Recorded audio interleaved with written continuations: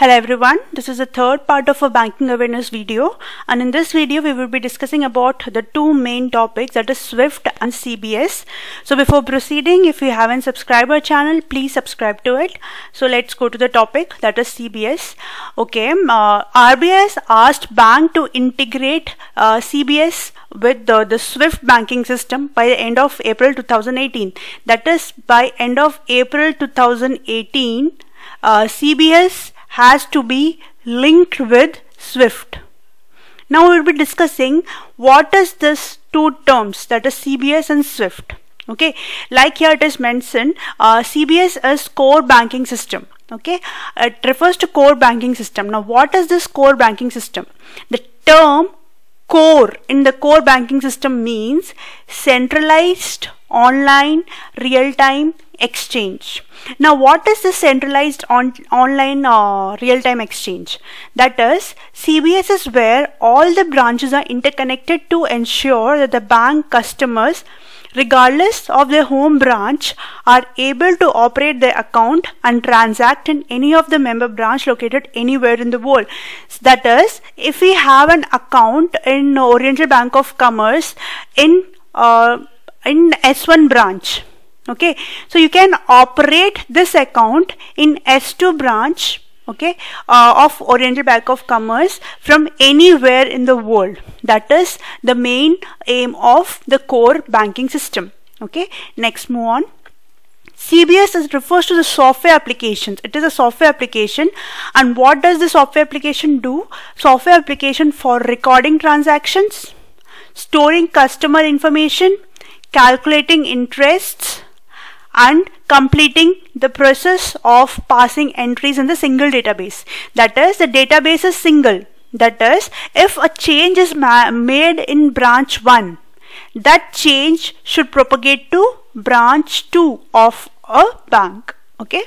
CBS enables accessing of complete customer account details centrally that is what I said that everything is centralized that is changes made in any branch would propagate to another branches. It is centrally. It makes it possible for a bank customer to access his bank account through whichever channel he prefers like. That is, you can use your uh, account through internet banking, through mobile banking, through ATM, or you can use it your account through TIS, anything. Okay, TIS is also uh, uh, um, uh, a medium for accessing your account. So these all things you can access your account through whichever channel you prefer. So this is this is what CBS. Let's see some of uh, the facts about CBS. That is CBS in India.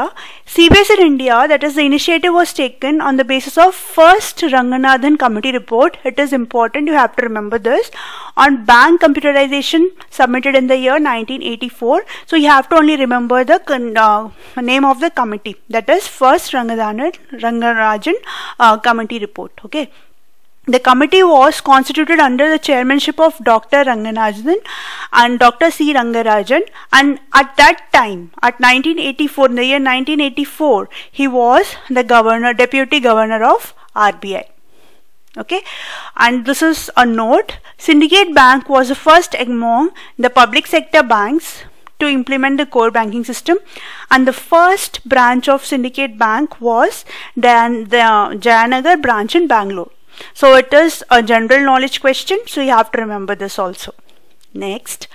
Uh, the benefits of CBS, that is what are the benefits of core banking system? We would divide the uh, benefits in two parts, that is for the customers and for the banks. So first we would be talking about the customers through CBS as we know you can access your account from any channel that is through net banking through ATM anything.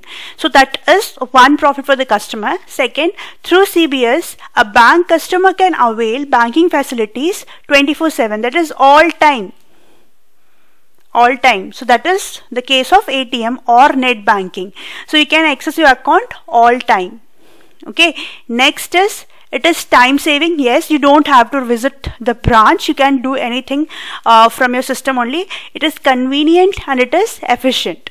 Okay? And multi it is accessible to multiple channels. As i told including mobile banking web and atms redefining a concept of anywhere anytime banking. That is you can do banking from your home also through using your mobile phones also. This is what the benefits of central banking system for the customers. Now even the bank has some benefits for it. What were the benefits for the bank? Okay for the bank it has revolutionized the speed efficiency and the reach of delivery system. Okay it gives greater customer satisfaction since it offers alternative channels than brick and mortar banking, it is the viable alternative to opening new branches. So new branches can be uh, opened easily which reduces the operational cost. Okay. Alternative for extending working hours. Okay, instead of extending the working hours, you can if you can access your bank through net so it would be easy for the customers also and it would be beneficial for the bank employees also. So it would uh, decrease the burden on the employees of the bank. Errors due to multiple entries are eradicated because everything is centralized. So multiple entries would, uh, would be not there. Reduces long queues in bank cash counter. Because earlier when there was no CBS so everything was through bank only. You have to visit the bank for everything. But when there is CBS you can do things at your home or using your net banking or you can uh, withdraw your money using a cash. You can submit money using cash. So there would be uh, no long queues. It reduces long queues in bank cash counters. So this was all about CBS now let's move on to SWIFT. Now what is SWIFT okay what is swift? Let's see what is swift. Swift refers to the society it is the full form that is society for worldwide interbanking financial telecommunication. This is the full form of swift. You have to remember it by heart. It is very important. Okay now what is swift?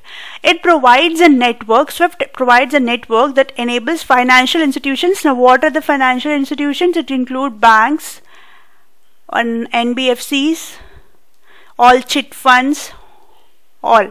It includes financial institutions worldwide. It is SWIFT is for worldwide financial institution to send and receive information, to send and receive information about financial transaction in a secure, standardized and reliable environment. So it is uh, the worldwide financial institution uh, in banks, the banks in one country and bank in other country, they can send and say the information about the financial uh, transaction which has taken place in, uh, in the customers okay that is what swift is. Uh, let's proceed it also sells software and services to financial institutions uh, okay? Much of it use on swift network iso 191 sorry iso 9362 you have to remember this also and the business identifier code previously the bank identifier code. So what are the uh, swift codes swift codes are the business identifier code or the bank identifier code. You can identify which bank uh, the transaction has taken place now, SWIFT assigns each financial organization a unique code. Suppose you have a bank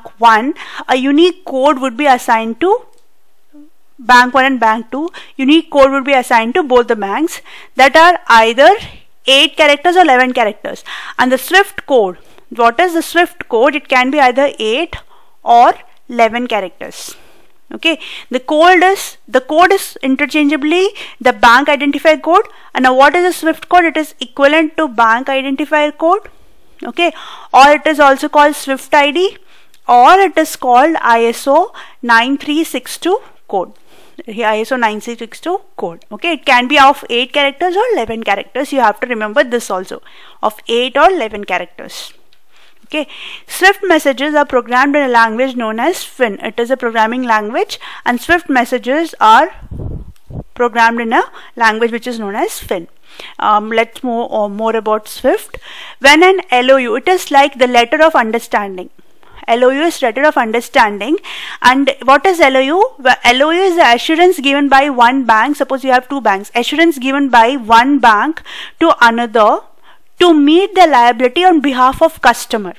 Okay? It is assurance given by one bank to another to meet the liability of on behalf of the customer. Okay? Now what how swift shift works? When a LOA is issued the message of credit is transferred to the uh, to the conveyed to the overseas bank through the swift system. Okay when a is used, when a letter of understanding is used, the matter or the message of credit transfer is conveyed to the overseas bank through SWIFT. This is information, significant information as it gives the bank consent and guarantee. okay suppose if one bank if there is a customer in bank 1 and same customer is in bank 2 okay? And uh, this in uh, this customer is in india suppose. This bank the branch is in india and it is somewhere in outside india. It is somewhere outside india. Okay? Uh, it is customer 1 only. Suppose customer 1 wants to transfer some money from bank 1 to bank 2 then that then a LOU would be issued by bank 1 what does this uh, mean? That is this according to this LOU this bank has uh, given the consent and guarantee that the money has been transferred with its with the bank's consent only. So this is what the swift uh, system is okay? To issue swift an official has to log in and fill up the confidential confidential information such as the account number and the swift code. So two things are needed account number and the swift code in generally the swift has it is just generally. It generally has three layers of security a maker a checker and a verifier within the core banking system within the core banking system before it is issued. So before issuing a LOU it passes through three layers of security security so this is how the swift works. So this was all about swift and cbs uh, if you have if you like this video please subscribe to our channel and kindly visit our website that is www.looklearnlead.com thank you